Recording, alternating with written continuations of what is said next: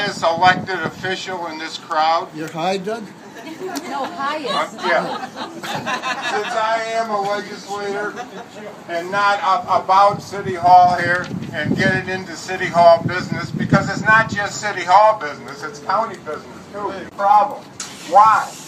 Because more and more of the, and more and more of them are coming through and more and more fracking oil, volume of explosives in Albany County and Albany City because the major transport is at the port where these, um, you know, they unload on the barges